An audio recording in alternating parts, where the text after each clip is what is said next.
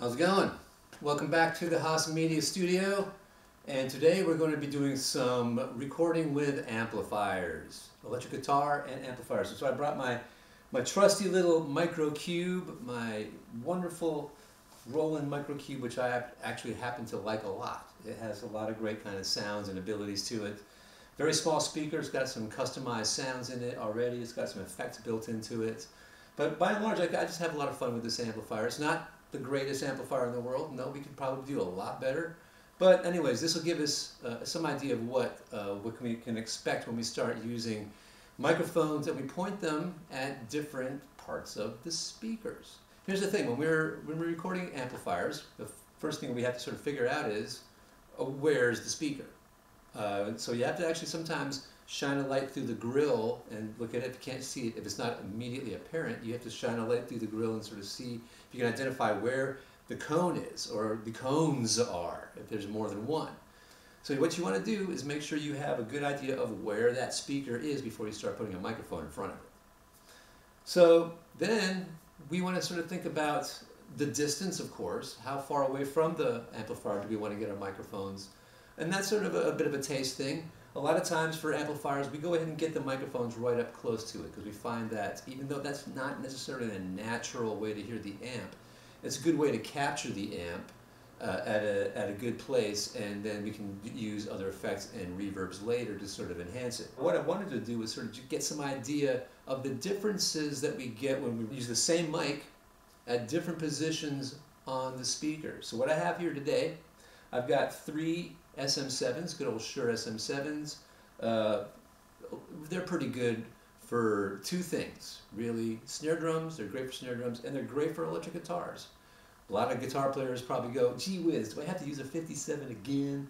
And no, you don't really have to, but it's a good starting point. If you're doing electric guitar, especially if it's doing rock guitar, it's, it's a very good starting point for a microphone selection. You have other selections, we'll get into that.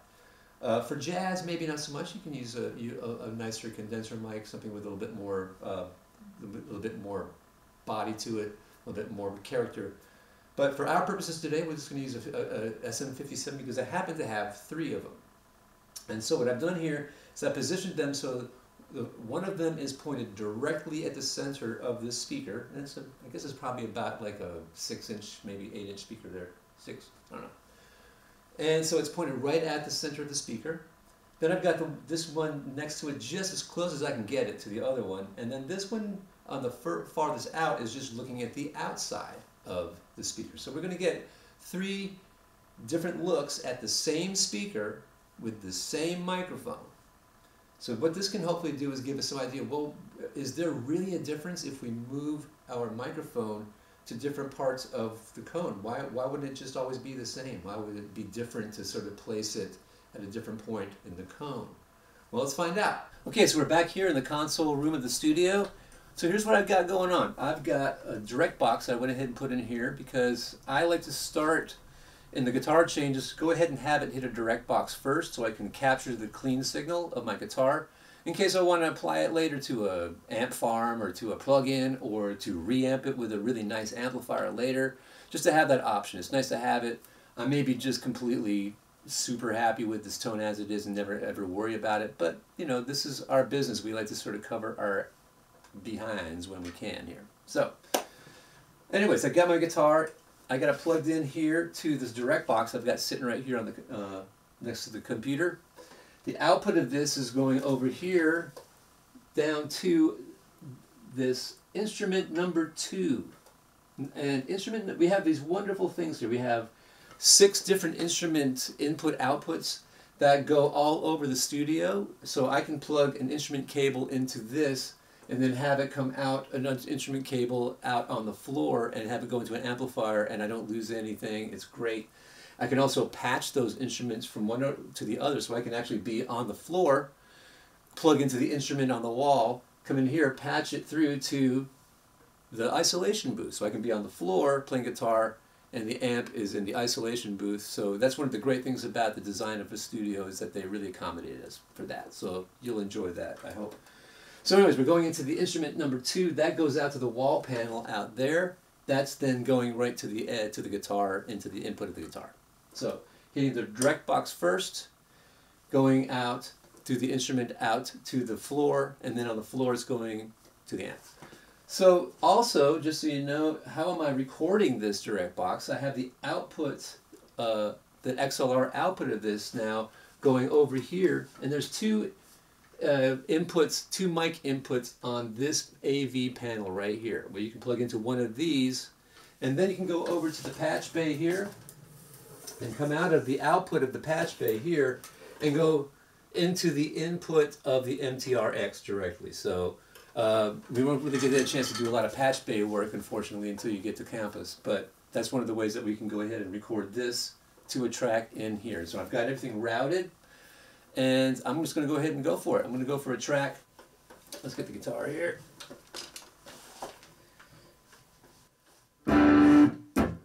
Excellent. Now let's check it out.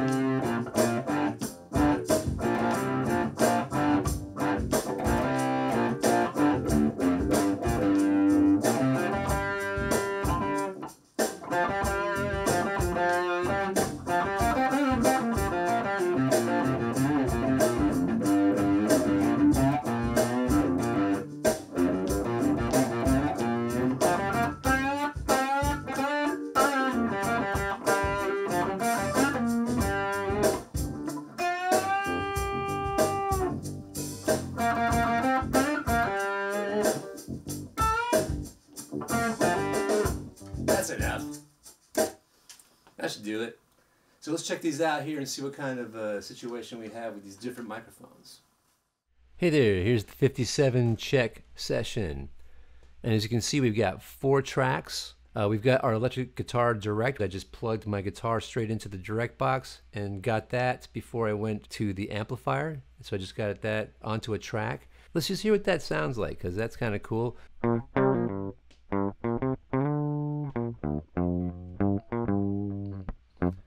Real dry, real transient, no amp, just guitar. That's what comes from the guitar. Sometimes you can blend that sound in with the rest of your sound to get a little bit of that sound, and that's kind of cool. But for the most part, what you can use this for is have it in your back pocket if you need to do a reamp. If you decide later that you like this performance uh, you recorded, and you didn't like the amplifier, and you didn't like the microphones, you've got this direct track which you can then use later to reamp. And we're going to show you how to do that here in a video coming up, how we can go from the DAW out back to the patch panel, out to the guitar amp, and put that sound into the guitar amp again, where you can then put a mic on it, record it, put that back in your DAW with an amazing guitar sound if you need to. Or just run this into an amp farm or your your basic uh, 11 rack or whatever you've got for your guitar sounds plugins this is this is a good insurance policy we've got three 57 tracks and this all the same microphone all the same level I've got 57 centered that's the one in the middle mid which is one right next to it and then off is the furthest out This one was a bit quieter. I actually had to turn it up 2.6 dB to get it to be the same level as the other two because they were the same level at the preamp. And we're going to go and solo through these. Uh, we'll start with the center and I'm going to work my way to the mid and then to the outside thing and just listen to the difference of one inch difference along this this speaker here. Okay, we're starting with the, with the, with the center.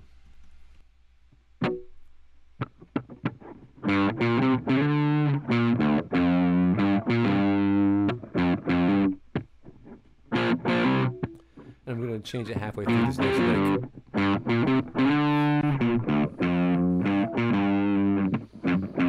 little different.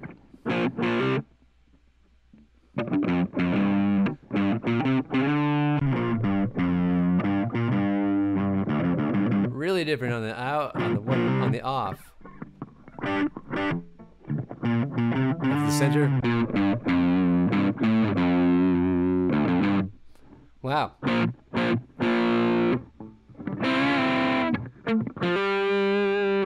Mid. Off. Center. Mid. Off. Center. Mid. Off. Very different sounds, just one inch over on the speaker. And this, and this is true for most guitar speakers too, as it turns out. There's different frequencies come from different parts of the cone, especially when you have your microphone very close, like we have. We're also getting a lot of proximity effect too, so we're probably going to get a little bit more low end than we probably normally would if we had those mics further out. We can notice right away the center one has a lot more high end frequencies. The teeth, the grit, that's going to kind of get us there for the teeth of this guitar sound.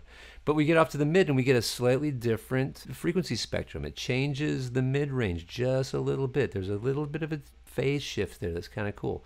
And then we get to the off one and it's almost like a different amplifier sometimes. We don't get near as much of the high end, very much of a different tone to it. So I highly recommend downloading this session and listening to the differences between these because you can also add these together and if you find that you add them together and they diminish the, each other somehow, then I recommend trying to put a trim on there. Well, let me just show you what I mean. If you wanted to play the center and the off together, we might try taking one of them out of phase. So let's get the let's get our trim over here. I'm going to bring it in and out of phase and just watch this right up here while I do it.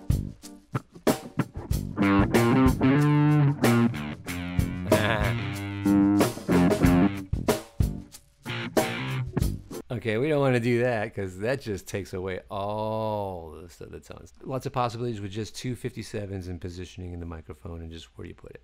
So now that we sort of tried out some different positionings along the cone, now I've just gone ahead and got a bunch of dang microphones out. I want to sort of see if we can do a little comparison shopping. Because what we do a lot of times with electric guitar amplifiers is we don't just use one microphone, we'll use two, sometimes three. Not usually more than that because we'll start getting to more phase issues. The more microphones are seeing the same thing, they're all different distances apart. We have a thing called phase, which uh, I'm sure I've talked about already, but we'll talk about more even later. It's one of the things we want to make our friend, not our enemy. So the more microphones that we're going to actually use to record something, we have to be careful with it. We usually like to have two, maybe three microphones on a guitar amp to get different uh, textures, different uh, frequency responses that the microphones give us uh, to the same thing, to the correlated information. So in this case today, I've got a special little fun house for you. I've got my microcube here again. And this time, I've still got my 57 uh, in the center position, so we can use that for a reference. And then on top of that, I've got two more, I've got my other two 57s. This time, rather than at different points on the cone, they're kind of actually clustered around the center one. And then one of them is an inch back or about the length of a capsule back, and the other one is two inches back, or two lengths of the capsules back. So I'm kind of going to be very curious to hear what kind of differentiations I get that between that and the center 57 again.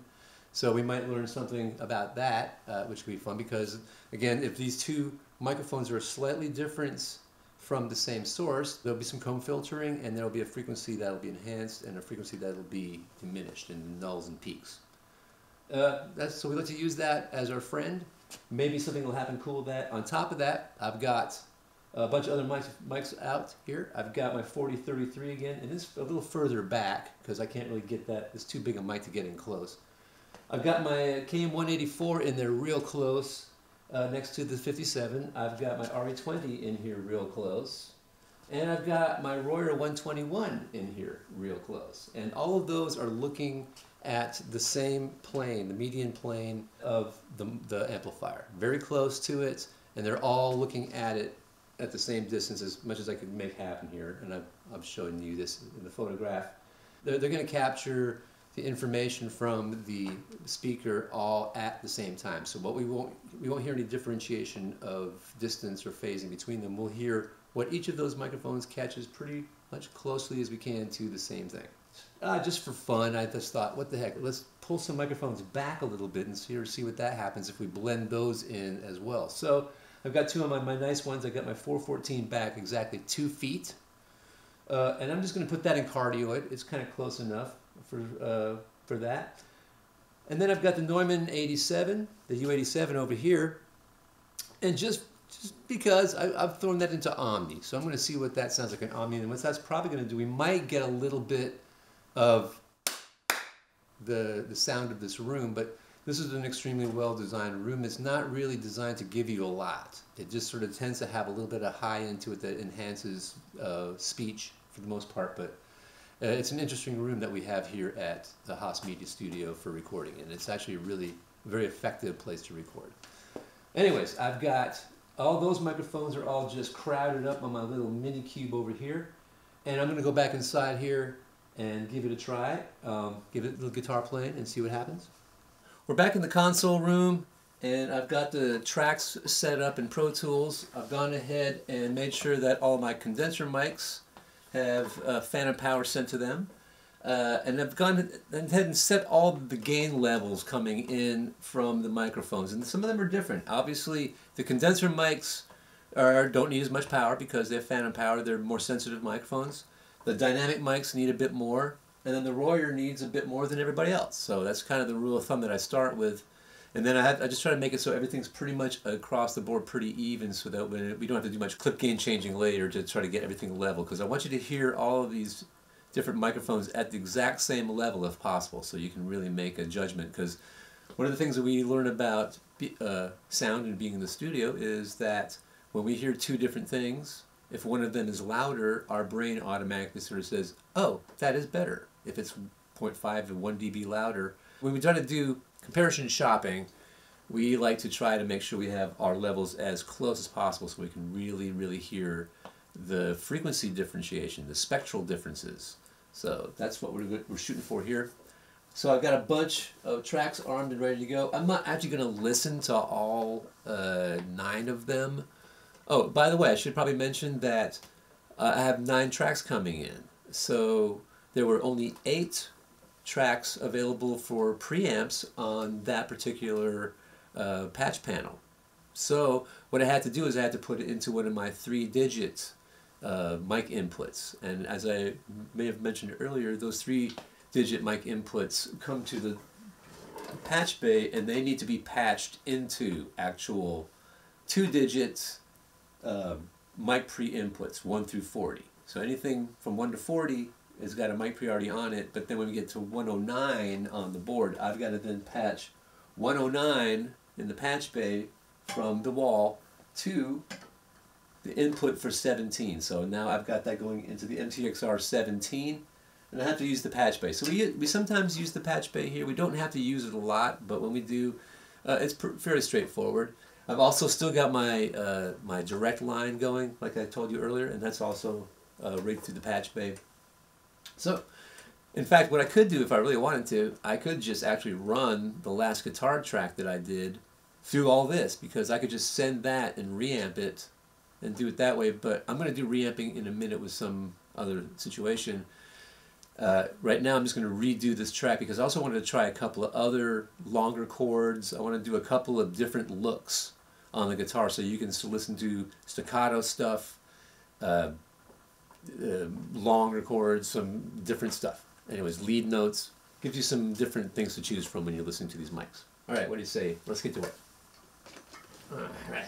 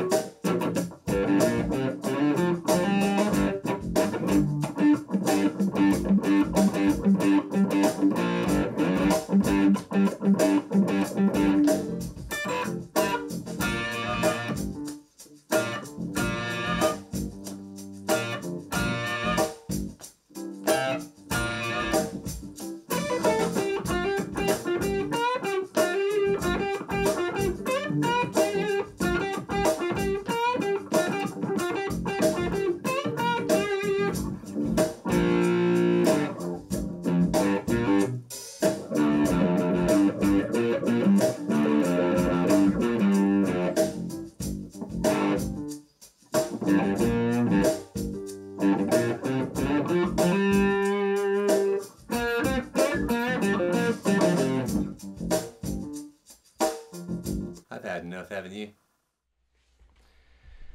Okay, here's our electric guitar session where we checked out a bunch of microphones, put them all out there. Let's find out what happened. And I played some swanky guitar in the studio. First of all, I got a bunch of 57s again. And this time, though, instead of having the 57s being at different positions with the speaker, I've got them different distances from the speaker.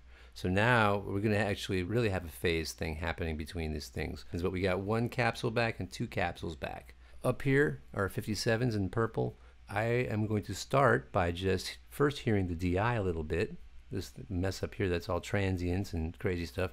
And you can see the difference between the DI signal and all of the guitar signals. They're all compressed and squashed because I'm doing a distorted guitar part. The electric guitar DI, of course, has just transients all over the place. So let's hear a little bit of that and then I'm going to start zipping through our different tracks. Here it goes.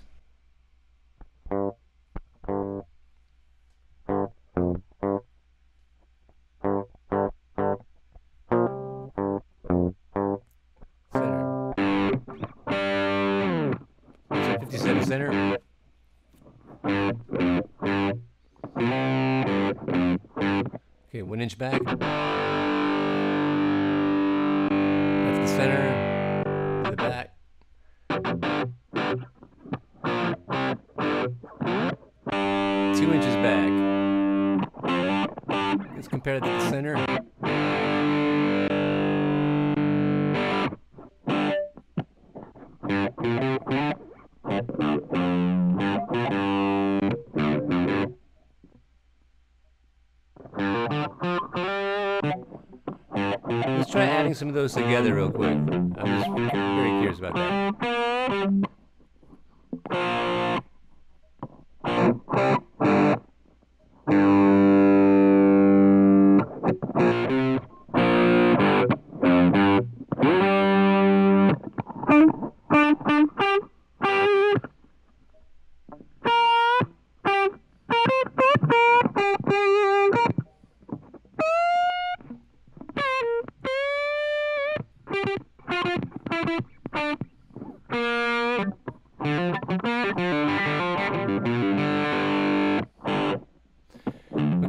The KM184 here.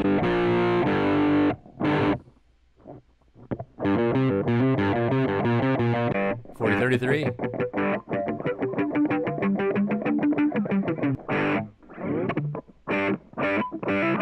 Let's hear the one twenty-one. That's the ribbon. No high end. RE20. U87. And then 87 is way back. So let's add that to another thing here.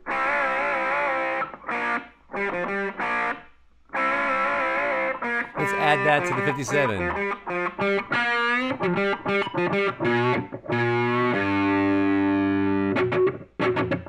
So we're hearing the room now. Let's hear the 414 instead. That sounds a little phasier.